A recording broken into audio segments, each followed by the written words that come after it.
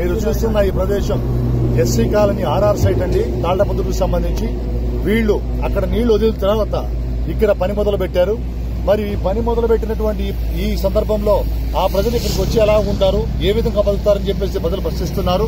కాబట్టి ఈ రాష్ట్ర ప్రభుత్వం వెంటనే తమ తప్పు తెలుసుకొని ప్రజలకు ఆర్ఆర్ ఆర్ అండ్ ఆర్ సంబంధించిన మౌలిక వసతులన్నీ కూడా కల్పించి వాళ్ళకి పరిహారం చెల్లించి న్యాయం చేయాలని వాళ్ళందరూ కోరుకుంటున్నారు.